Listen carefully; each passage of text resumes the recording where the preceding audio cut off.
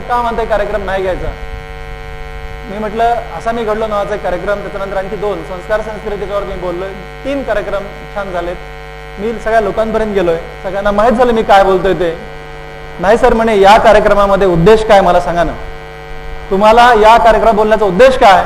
तर उद्देश काहीच नाही. फक्त फक्त या सगळ्या मंडळींना काहीतरी चांगलं ऐकायचंय आणि त्यातून त्यांच्या लेकरांना चांगलं घडवायचंय. लेकरांनाच नव्हे लेकरांनाच नव्हे तर काही माणसांना पण चांगलं व्हायचंय. म्हणून हा कार्यक्रम याला नाही म्हणू नका. तरीही या कार्यक्रमाला मी परमिशन दिली नाही. तुमच्या माहितीसाठी सांगतो की मला रविवारी फोन आला. रविवारी ननसकर साहेबांचा की तुम्हाला असे असे तुमची आम्हाला मुलाखत घ्यायची म्हणलं हो का? कधी? कशी? तुम्हाला माहीत नाही का म्हणे रस्त्यामध्ये असे बॅनर लागलेत. मी म्हणलं मला सर काही माहीत नाही कारण लहान हॉस्पिटल मी सोडलेलं नाहीये. हा? पण तुम्हाला सांगू मित्र हो की आजही पावणे सहा पर्यंत ऑपरेशन थिएटरमध्ये होतो. तुमच्यासमोर इथं उभा आहे. आणि याचा मला प्रचंड आनंद आहे. प्रचंड आनंद आहे. त्याचं कारण आहे की मी कधी इमॅजिनच केलं नव्हतं की माझ्यावर एवढं कोणी प्रेम करतं.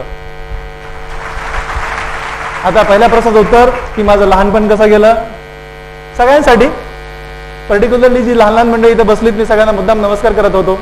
ओळखीचे आहेत का नाही तरी पण मी नमस्कार करत होतो. कारण मला मला त्यांना काहीतरी सांगायचंय. तुम्हाला सांगू का? पहिली म्हणजे आमचा पहिलीपर्यंतचा काळ. मला मी पहिलीला जाण्या अगोदरचा मी फारसा आठवत नाही. पहिलीला जाण्या अगोदरचा मला फारसा मी आठवत नाही. आमच्याकडे फोटो पण नाही आहेत. माझा सगळ्यात पहिला फोटो मी दहावी झाल्यानंतरचा आहे. माझ्याकडे पहिला फोटो पासपोर्ट हा दहावी नंतरचा आहे. तोपर्यंत माझ्याकडे काही फोटो नाही आहे माझा एकही. त्याच्यामुळे मला तो पहिलीच्या अगोदरचा काळ आठवत नाही पण पहिलीचा काळ आठवतो. आणि तो असा घरातलं वातावरण कसं? हा मला प्रश्न आहे. घरातलं वातावरण म्हणजे काय? आमचे मा अण्णा इथे तुम्ही बघितले दोघंही न शिकलेले. पण चांगली गोष्ट अशी की मोठे दादा शिकलेले होते तेव्हा त्यांचा नंबर मेडिकल लागलेला होता. म्हणून मा अण्णांना शिकायला पाहिजे का न शिकायला पाहिजे कळत नव्हतं पण शिक्षणाला विरोध कधीच नव्हता. मला त्यांचं त्यांना सॅल्यूट करा असं वाटतो. की एवढ्या अजिबात न शिकलेल्या आईवडिलांना सुद्धा लेकरांनी शिकायला पाहिजे.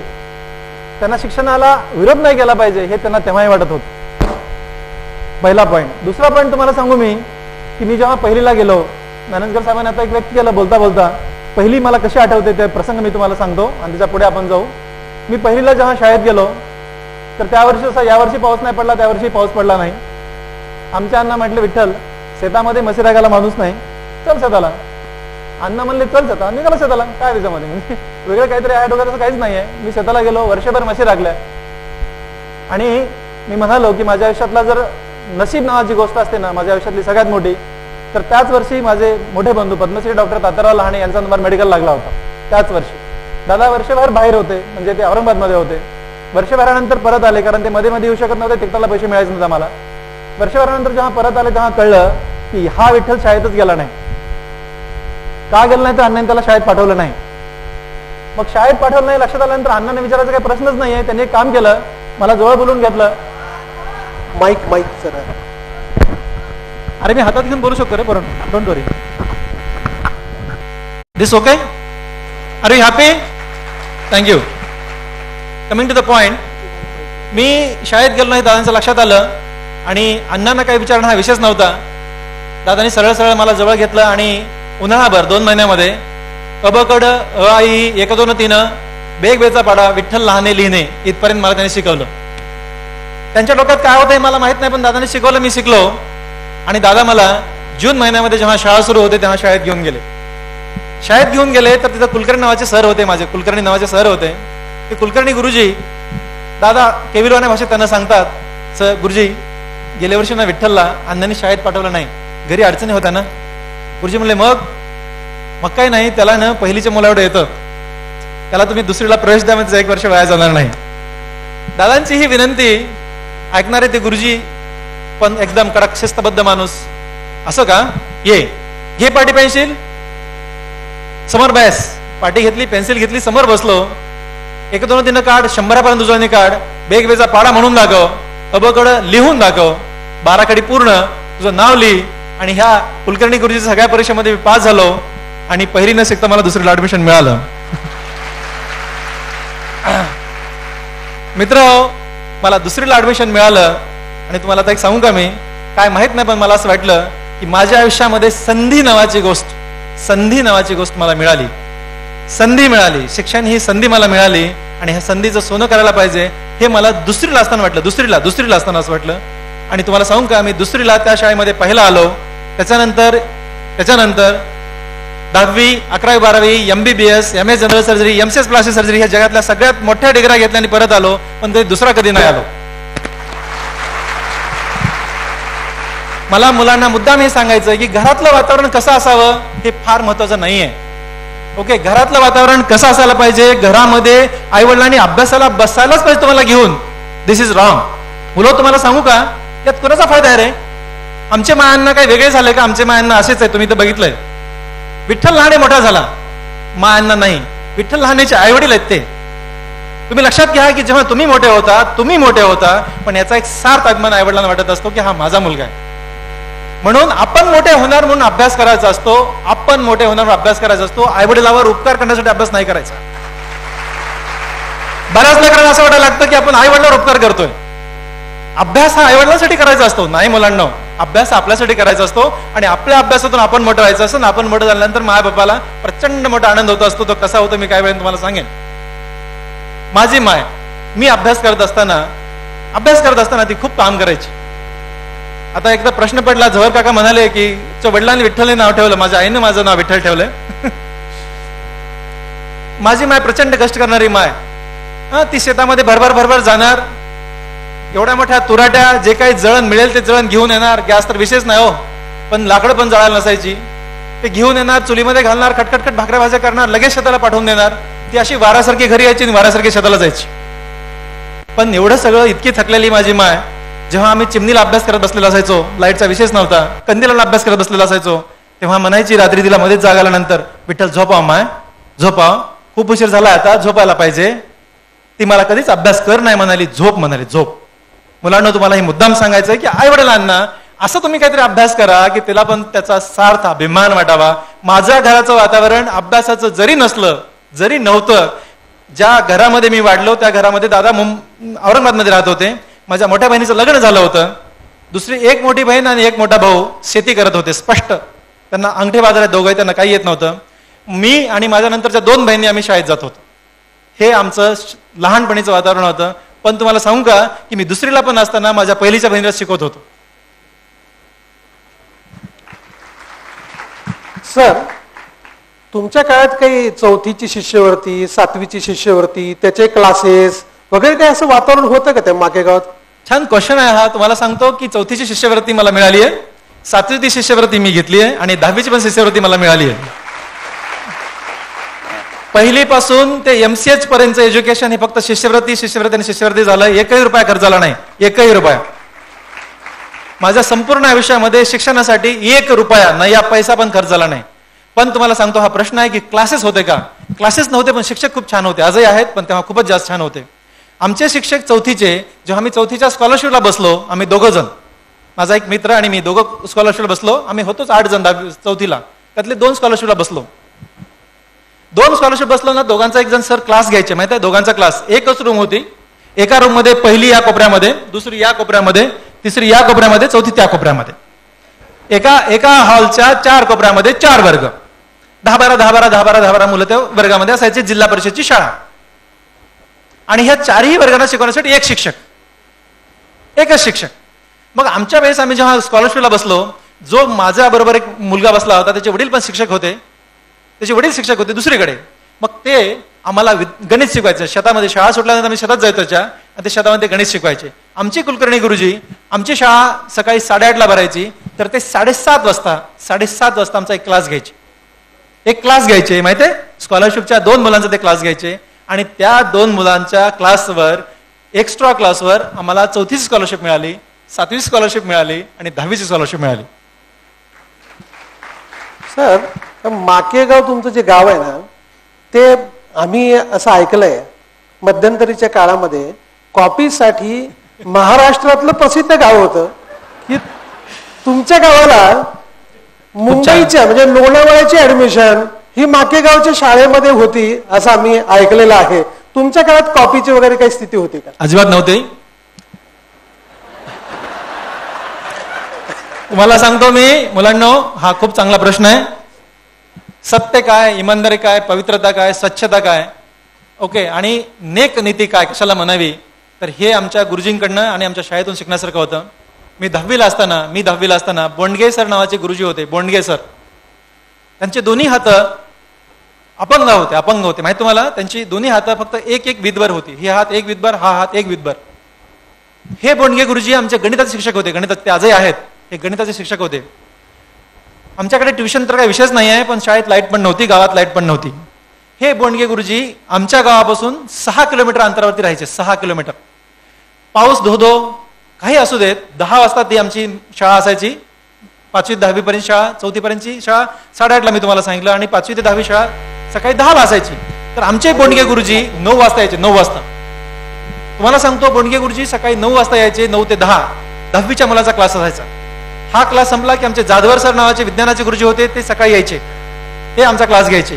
त्याच्यानंतर आमच्याकडे उगेले नावाचे इंग्रजीचे शिक्षक होते ते आमच्याकडे सकाळी यायचे आणि क्लास घ्यायचे. तर आमच्या दहावीच्या मुलांचा क्लास हा असा एक्स्ट्रा क्लास व्हायचा एक्स्ट्रा क्लास व्हायचा. आमच्याकडे आमच्याकडे कॉपी असते हे विशेष मला माहीत नाहीत मलाच नव्हे माझ्या वर्गातच नव्हे तर आमच्या बॅचमध्येच नव्हे तर आमच्या हिस्ट्रीमध्ये कोणाला माहीत नाहीत. डॉक्टर तात्राव लहाणे ज्यांचं तुम्ही माझे सख्खे मोठे भाऊ पद्मश्री डॉक्टर तात्राव लहाणे त्याच शाळेत दहावी झाले. विठ्ठल लहाणे त्याच शाळेत दहावी झाला. नव्हे नव्हे असे तुम्हाला मी कमीत कमी एक शंभर जगाच्या टॉपर असलेले नाव नाव नाव सांगू शकतो ज्यांचा की इतका उत्कर्ष झाला. मधल्या काळामध्ये हे मी पण ऐकलंय ऐकलं नाही असं नाहीये काही चुकी सांगता असं माझं म्हणणं नाही. पण ही शाळा अति उत्कृष्ट शाळा होती. तेवढ्याच कारणाने असं खन खन खन अगदी घडून घडून घडून घडून टोके मारून आम्हाला इथपर्यंत शाळेतून बाहेर काढलंय. तुम्हाला सांगतो ते गुरुजी आजही जेव्हा आम्हाला भेटतात मी नतमस्तक होतो. आमच्याकडे आमच्याकडे शहाजराव नावाचे शहाजराव मुंडे नावाचे गुरुजी होते. सातवीपर्यंत गणित शिकवायचे. जो शिक जो शिक्षक नाही जो शिक्षक नाही कसं बघा गुरुजी कसे असतात? आता हा तास रिकामा जाणार आहे. हा ते मला निरोप पाठवायचे आपल्या सेवकाच्या हाताने. विठ्ठलला बोलून आणा विठ्ठलला बोलवलं की विठ्ठलकडे एक खडू एक डस्टर आणि एक क्वेश्चन पेपर द्यायचे. एक क्वेश्चन पेपर द्यायचे आणि जा आणि वर्गात सोडवून घे. तुम्हाला सांगू का मी? पाचवी पासून दहावी पर्यंत जेवढे जेवढे तास रिकामे गेले त्या प्रत्येक तासामध्ये त्या त्या विषयाचा आम्ही क्वेश्चन पेपर सोडवला आणि तो मी सोडून घ्यायचो. काय माहीत नाही पण त्यांना प्रचंड विश्वासाचा की हे पोरग खोटं नाही बोलणार. हे हे ही शाळा इतकी छान होती म्हणून आम्ही इथपर्यंत येऊ शकलो. त्या शाळेचे मी आजवर आनंद आनंद आणि आनंद उपकार आहेत.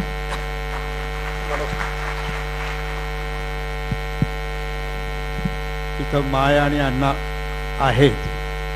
त्यांना एकदा नमस्कार करतो. आपण शाळेमधून आता आपण कॉलेजमध्ये येऊया. ग्रेट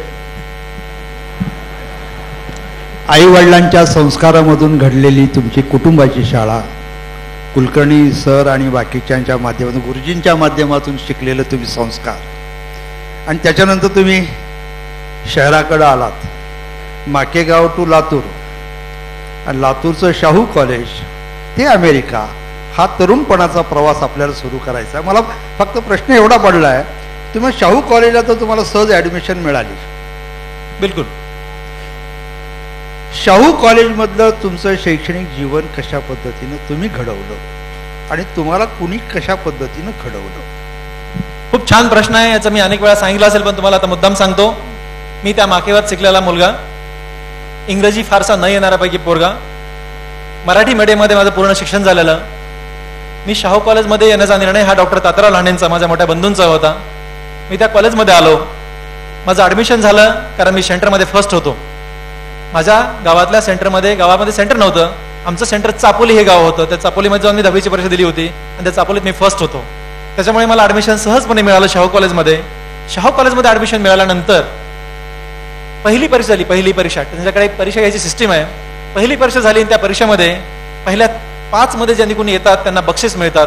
योगायोगाने मी पहिल्या परीक्षेमध्ये तिसरा आलो.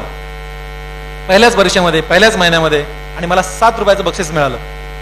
ते सात रुपयाचं बक्षीस मिळालं आणि जाधव सरांनी मला त्यांच्या केबिनमध्ये बोलवलं. डॉ. प्राचार्य अनिरुद्ध जाधव सरांविषयी बोलतोय मी. त्यांनी मला केबिनमध्ये बोलवलं आणि विचारलं जाधव सरांच्या केबिनमध्ये गाय जायचं म्हणजे अख्खा घामाघूम झालो होतो मी. म्हणजे जाधव सरांची इतकी भीती आजही वाटते. मी जाधव सरांच्या बाजूला बसलो तर काल बसलो त्याच्या कॉलेजमध्ये अख्खा घाम आला होता मला. तर जाधव सरांची तेव्हा तर इतकी भीती वाटत होती विचार करू शकत नाही तुम्ही. जाधव सरांच्या चेंबरमध्ये बोलवलं का बोलवलं? मी गेलो. घाबरत घाबरत घाबरत. आणि जाधव सरांकडे गेल्यानंतर जाधव सरांनी विचारलं तू विठ्ठल लहाने हो. आई वडील काय करतात? शेती. वडील किती शिकलेत? मग आई किती शिकली आहे? निरंक. म्हणजे प्रत्येक प्रश्नाचं उत्तर असं आलं असं आलं असं आलं. आणि जाधव सरांच्या लक्षात आलं तू मागे शिकलास. आईवडील काही शिकलेले नाही आहेत. तुझी आर्थिक परिस्थिती कशी आहे? आणि मी काय सांगू माझी आर्थिक परिस्थिती कशी आहे हा प्रश्न विचारल्यानंतर माझ्याकडे काही उत्तर नव्हतं. मी गप्प बसलो. कारण तेव्हा माझ्या अंगातले कपडे पण मी लोकांचे अल्टर केलेले होते. म्हणून मी एक शब्द पण त्यांना बोललो नाही. एक शब्द पण बोललो नाही. मी गप्प बसलो. आणि काय त्या जाधव सरांना माहीत नाही? म्हणजे त्यांनी माणूस आहेत ते त्यांना काय कळलं माहीत नाही. जाधव सरांनी मला असं जवळ घेतलं. खांद्यावरनं हात फिरवला. काहीही परेशान होऊ नकोस. काहीही परेशान होऊ नकोस. तुला काहीही लागलं हे कॉलेजचं असेल. तुला पुस्तकं कॉलेजमधनं मिळतील वह्या कॉलेजमधनं मिळतील. नव्हे तुला कपडे पण आम्ही देऊ. आणि दोन वर्ष मी जाधव सरांचा मुलगाच म्हणून वाढलो. तुम्हाला सांगू का की सगळ्यात मोठं बळ मला जर कुठे मिळालं असेल माझ्या आयुष्यातलं सगळ्यात मोठं बळ जे आईवडिलांनी दिलं डॉक्टर तात्याराव लाणेने दिलं आणि त्याच्यानंतर जाधव सरांनी दिलं. ही मंडळी खूप छान होती. रांदड साहेब तुम्हाला याची कल्पना मला आम्ही विद्यार्थी बघा आम्ही मुलं. रूमवरती राहायचो एका रूमवरती तुम्ही सगळेजण ऐका जरा. एका रूमवर आम्ही राहायचो. एक दोन दोन दोन दोन मुलं राहायचो. आम्ही जरा पत्र्याची रूम करायचो कारण आम्हाला भाड्याला पैसे परवडायचे नाहीत. पत्र्याची रूम करणे हाताने स्वयंपाक करून खाणे म्हणजे ते परवडतं ना. सतरा अठरा रुपयात दोन्ही जून पंचवीस एक रुपयामध्ये ते व्हावं. याच्यापेक्षा जास्त पैसे विशेष नाही ना. म्हणजे अकरावीचं पूर्ण वर्षभर आम्ही हाताने स्वयंपाक करून खाल्ला. एका मुला माझा जो रूम पार्टनर आहे त्यांनी भाजी करायची एकदा मी भाकरी करायची एकदा. आणि मग मी एकदा भाकरी कराय त्यांनी भाजी केली असं अल्टरनेट आम्ही एकमेकाला भाजी भाकरी करून द्यायचो आणि आम्ही जेवण करायचो. त्या पत्राच्या रूममध्ये आम्ही राहायचो. जाधव सर हुशार मुलं कुठं राहतात? हुशार मुलं कुठं राहतात? ह्या सगळ्या परीक्षेमध्ये जी मिरिट आली अकरावीला मिरिट आली बारावीला मिरिट आली त्यांच्याकडे त्यांच्या परीक्षेमध्ये त्या मुलांना शोधायची. मला वाटतं हे सगळ्या आदर्श शिक सगळ्या शिक्षकांनी आदर्श घ्यावा. आणि ती जा जाधव सरांकडे राजदूत नावाची गाडी होती. ती गाडी घेऊन सर आमच्या रूमवर एक दिवस. आमचे प्रिन्सिपल तेव्हा व्हाईस प्रिन्सिपल होते सर आमच्या रूमवर विचार करा. पत्र्याची खोली पत्र्याची खुर्ची तेव्हा ती खुर्ची साडेबारा रुपयाला मिळायची आणि दोन फळ्यात टाकलेला टेबल जो की आम्ही घरून करून आला होता. हे आमच्या रूम मधलं साहित्य आणि एक सतरंजी त्याच्यावर तुम्ही दोघं झोपायचो. तिथे जाधव सर आले. आम्हाला काहीच कळ आता काय करा सरांना बसा म्हणा उठा म्हणा.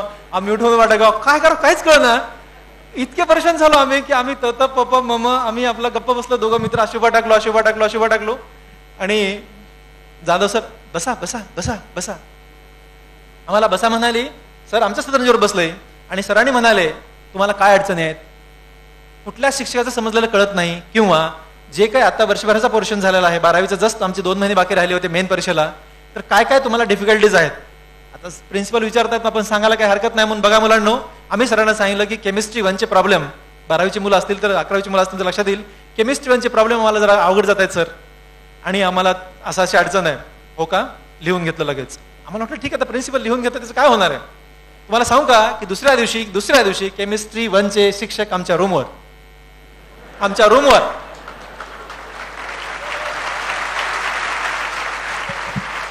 this is this is pattern यार. दिस इज पॅटर्न माहिती आहे का आमच्या रूमवर आले? अँड नॉट ओनली दिस मला इंजिनिअरिंग आणि मेडिकल दोन्हीकडे ऍडमिशन मिळतो दोन्हीकडे. गव्हर्नमेंट मेडिकल कॉलेजमध्ये दोन्ही ग्रुपला जिथं पाहिजे तिथं ऍडमिशन मिळेल एवढे मार्क्स आपल्याला बारावीमध्ये मिळाले. याचं क्रेडिट शाहू कॉलेजच्या पूर्ण टीमला जातं. मी कालही बोलताना बोललो दुरुक्कर मॅडम म्हणून एक मॅडम आहे तिथे.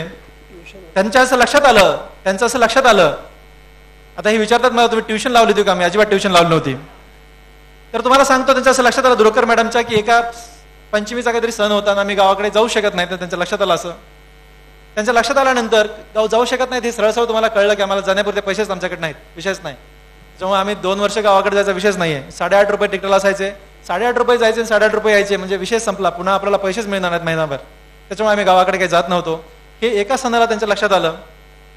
आमची अडचण असं असायची की काय खायचं ना? म्हणजे ज्या सणाच्या दिवशी फार अडचण यायची. मग त्यांच्या लक्षात आल्यानंतर त्याने मला घरी बोलवलं. दुरकर मॅडमनी आणि हाताने पुरणपोळी करून खाऊ घातली.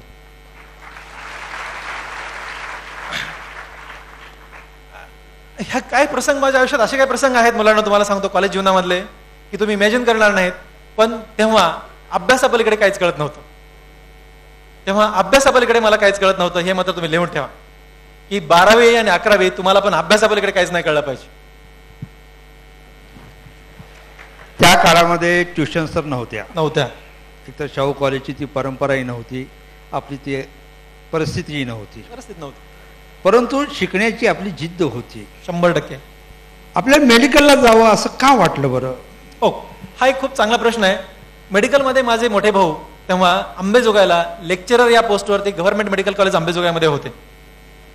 ही एकोणीसशे अठ्ठ्याऐंशीची गोष्ट आहे. दादा लेक्चररचे असोट प्रोफेसर झाले होते आणि माझा तेव्हा दोन्ही ठिकाणी नंबर लागत होता. प्रामाणिकपणे सांगू तुम्हाला मी मुलांना होता की मला इंजिनियर व्हायचं होतं. मला इंजिनियर व्हायचं होतं. मला इंजिनियर व्हायचं होतं एवढंच नव्हे तर मी जाऊन इंजिनिअरिंग कॉलेजमध्ये ऍडमिशन घेतलं होतं. पण दादा म्हणाले विठ्ठल अरे इंजिनियर बेकार असतात. कुणी इंजिनियर असतील तर मला वाईट नका म्हणून घेऊ पण इंजिनियर बेकार असतात. तुला कळत नाही मुला तुझा मेडिकलला नंबर लागतोय. आणि तू मेडिकल नाही कसं म्हणतो? दादा म्हटलं एक घरात डॉक्टर आहे दुसरा इंजिनियर झाला पाहिजे. माझे कन्सेप्ट असे होते. ह्या मायबाबाचा एक इंजिनियर आहे एक डॉक्टर आहे असं म्हणता यावं. म्हणून मला इंजिनियर व्हायचं होतं. पण दादा आजही तेव्हाही आमच्या घरातला सुप्रीम कोर्ट आम्ही त्यांना असं म्हणतो. त्यांनी म्हणलेला शब्द कुठंच खाली पडला जात नाही. मग दादा म्हणाले विषय संपला. मी मेडिकलला ऍडमिशन घेतलं. पण मेडिकलला ऍडमिशन घेतल्यानंतर सगळ्यात चांगली वस्तू मला सांगतो. माझा औरंगाबादला मेडिकलला नंबर लागला पण दादा म्हणाले की मी अंबेजोगाईमध्ये आहे. तो औरंगाबादपेक्षा म्युच्युअल ट्रान्सफर माझ्या एका मित्रावर मी करून घेतलं आणि मी अंबेजोगाईच्या मेडिकल कॉलेजमध्ये आलो.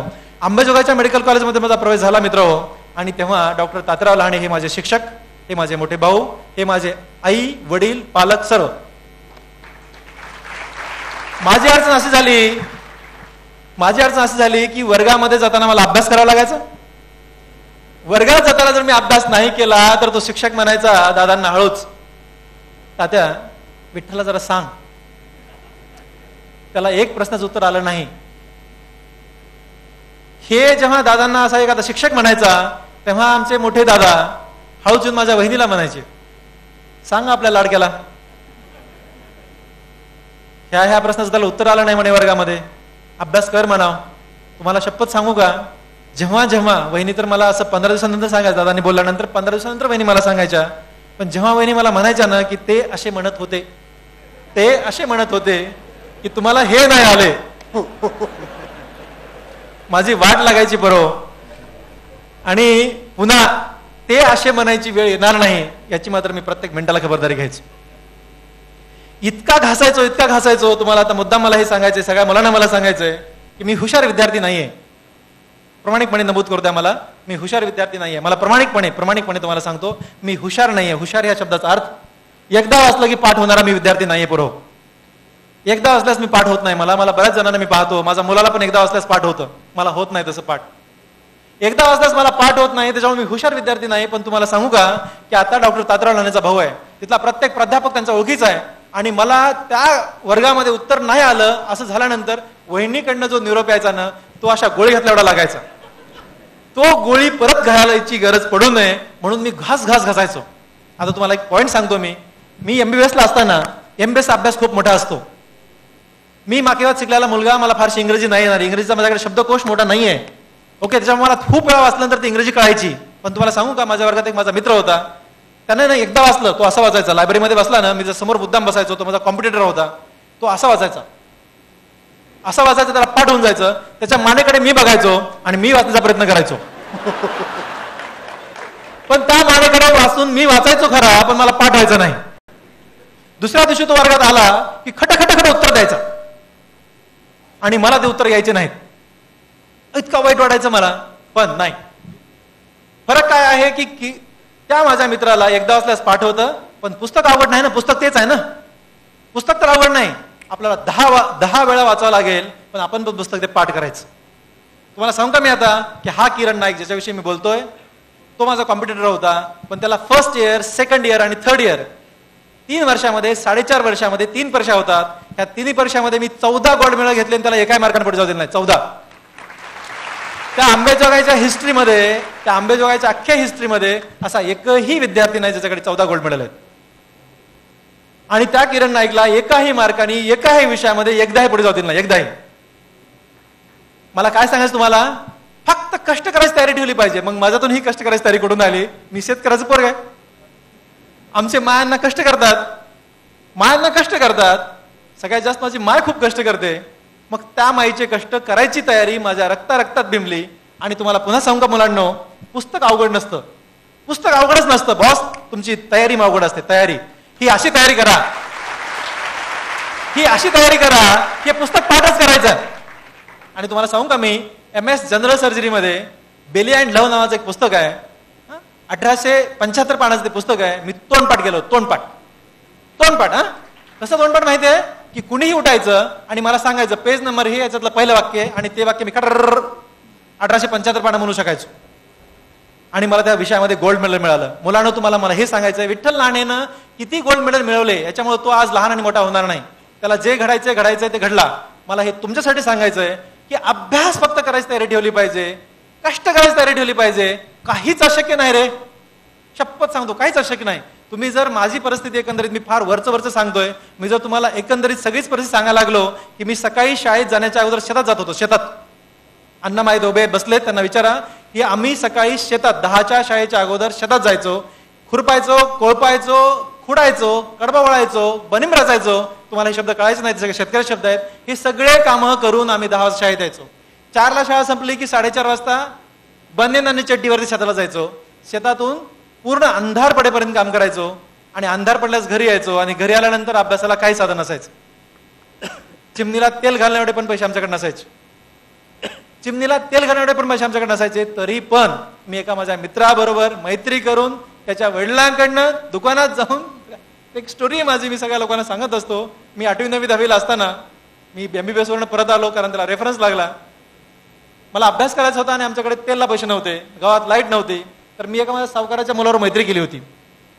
सावकाराच्या मुलावर मैत्री केली होती त्या सावकाराच्या घरी राशनचं दुकान होतं. राशनचं दुकान होतं. त्या सावकाराकडे गेलो त्यांना म्हणालो तुमचा मुलगा भारत आणि मी एकत्र अभ्यास करतो. ते म्हणला कुठल्याही महिलां बापाला अभ्यास करतो म्हटलं की या लेकराला काय काय काय असं वाटत असतं.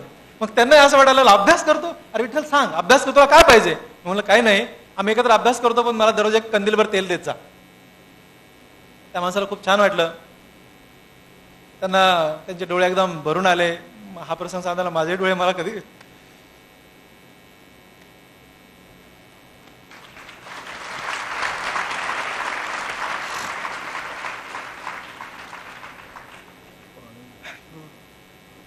त्यांना खूप छान वाटलं की ही लेकरं अभ्यास करण्यासाठी तेल मागतायत. आणि त्यांनी मला म्हणाले विठ्ठल किती छान आहेस रे तू. एक कंदीलवर तेल. तुला दोन कंदील तेल तुम्ही अभ्यास करा. मित्र हो दररोज फुगा उजळणे मस्तपैकी. ते कंदील त्यांच्या दुकानात घेऊन जाणे. फुगा कंदिलाचा उजळाचा किती परिणाम माहिती आहे मला माहीत नाही पण दररोज त्या चुलीतली राख घ्यायची मस्तपैकी गौरीची राख असते. त्या रा- त्या राखेने फुगा उजळणे. त्या दुकानात घेऊन जाणे मस्तपैकी तेल भरून आणणे. रात्री अभ्यास करणे आणि अभ्यास झाल्यानंतर तो दिवा बंद करणे कारण सकाळी पुन्हा ते तेल पुरलं पाहिजे. ही शिकवण माझ्या माहिती आहे. असा अभ्यास केला आम्ही ही ह्या परिस्थितीचा अभ्यास केला. आणि तुम्हाला मी सांगत होतो की मी दुसरीला ऍडमिशन घेतलं. अकरावी बारावी झालो. एम बी एसला पोहोचलोय. आणि एम बी एसमध्ये मी दादांचा तुम्हाला इतिहास सांगत होतो. आणि केवळ केवळ दादा तिथे माझे गुरु असल्यामुळे मला हे मिरिट मिरिट आणि मिरिट येतं आलं. याचा पुढचा प्रश्न. डॉक्टर साहेब आपण स्वाभाविक आहे. यांचं नुसतं आपण आयुष्य जरी ऐकलं तरी आपल्यासुद्धा मनामध्ये कालवा कालव होते. आपलेही डोळे भरून येतात. तुम्ही ते आयुष्य जगलंय. माझ्यासमोर प्रश्न एक आहे की डॉक्टरी पेशाकडे जी मंडळी जाणारी असतात ते एक स्वप्न घेऊन जातात. एक आमचा काळ एक असा होता की डॉक्टर म्हटल्यानंतर त्यांच्याकडं दे देवासारखं पाहायचो. त्याच्यानंतर देवदूतासारखं त्यांच्याकडं पाहतो. स्वाभाविक आहे की डॉक्टरांच्याकडं आमच्या नाड्या तुमच्या हातात असतात. माझ्यासमोर प्रश्न असा आहे की तुम्ही ज्यांचे ओठ दुभंगलेले आहेत ज्यांचे टाळू दुभंगलेले आहेत अशांच्यासाठी काम करण्याची शपथ घेऊन तुम्ही त्याच्यामध्ये उतरलात हे माझ्या गणितात बसलं नाही. कारण अपंगांच्या क्षेत्रामध्ये मी तीस वर्षापासून काम करतो. मनापासून काम करणारा जो ग्रुप पाहिजे तो येत नाही. शाब्दिक सहानुभूती दाखवणाऱ्यांची संख्या प्रचंड आहे. पण त्यांच्या चेहऱ्यावर हसू फुलवण्याचं काम जे तुम्ही केलं त्याच्या पाठीमागची प्रेरणा कोणती? खूप चांगला प्रश्न विचारलात. मी जेव्हा लातूरला येणार हा निर्णय घेत होतो तेव्हा मी डॉक्टर बमन डावारांसोबत होतो. मी M B S M B B पर्यंतचा प्रवास तुम्हाला सांगितला एम एस आणि एम चा प्रवास मी नंतर सांगतो. जसा प्रश्न आला तसं उत्तर देत जाईन. डॉक्टर डावरांकडे डॉक्टर डावर हे प्रचंड मोठे व्यक्तिमत्व त्यांना मी चालता बोलता देव असं म्हणत असतो.